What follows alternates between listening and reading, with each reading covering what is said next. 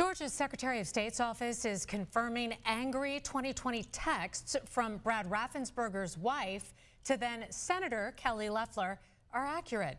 Tricia Raffensperger was upset at Loeffler for calling for her husband's resignation, and she blamed Loeffler for threats against her family. Channel 2's Richard Elliott is live outside the state capitol with what Loeffler is now saying about those texts. Richard. Yeah, let's remember how volatile everything was in the days after the 2020 election. Kelly Loeffler joined Donald Trump in condemning Brad Raffensperger. Raffensperger later admitted that both he and his wife had endured death threats from people who believed that there was massive voter fraud across Georgia. And uh, in November 2020, Tricia Raffensperger texted Kelly Loeffler to say she didn't appreciate any of it. Georgia Secretary of State's office confirmed Thursday these November 2020 texts from Tricia Raffensperger to then Senator Kelly Loeffler, first obtained by the AJC, are real. Quote, never did I think you were the kind of person to unleash such hate and fury on someone in political office of the same party.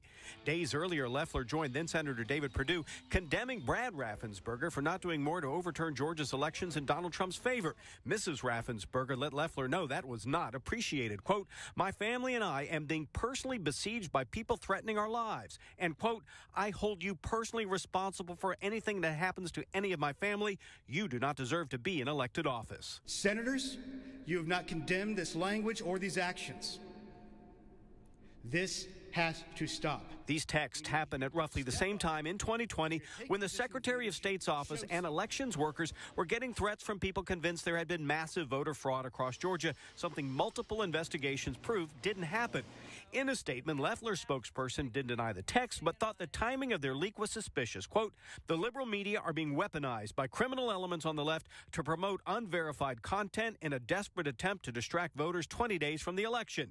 Veteran political consultant Fred Hicks has worked on Republican and Democratic campaigns. He also thinks the timing of their release is no coincidence, but thinks they could actually help both Republican Brad Raffensperger and Georgia Democrats. These text messages timed at, uh, timed at this point again put Donald Trump at the, at the center and the heart of Georgia elections, and that can only really benefit Democrats. And of course, Kelly Loeffler lost her race to now Senator uh, Raphael Warnock. Loeffler did go on, though, on the floor of the Senate to vote to certify the election. We are live in downtown Atlanta. Richard Elliott, Channel 2 Action News. And